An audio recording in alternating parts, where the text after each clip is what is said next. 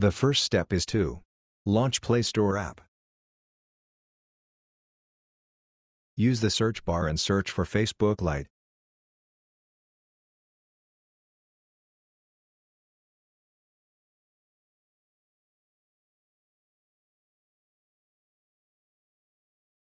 Tap on Install.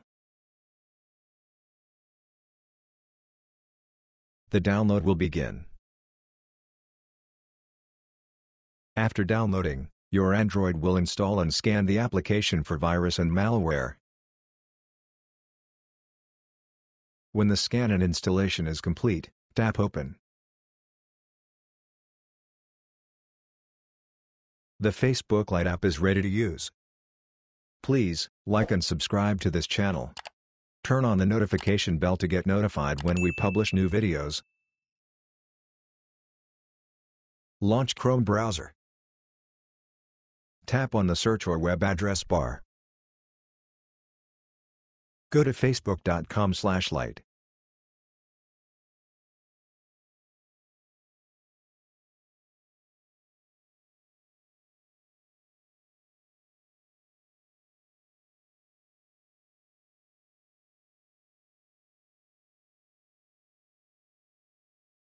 Tap on Download now. Chrome browser will warn you that file might be harmful. Tap on Download anyway, because we are downloading from the official Facebook website. After downloading, tap Open. You might see a prompt that your phone is not allowed to install apps from unknown source. Tap on Settings.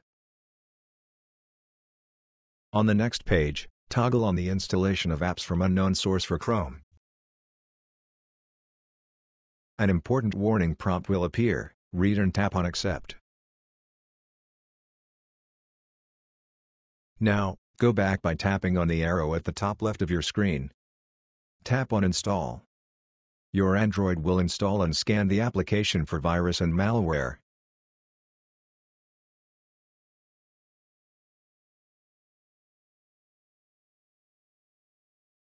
When the scan is complete, tap Open.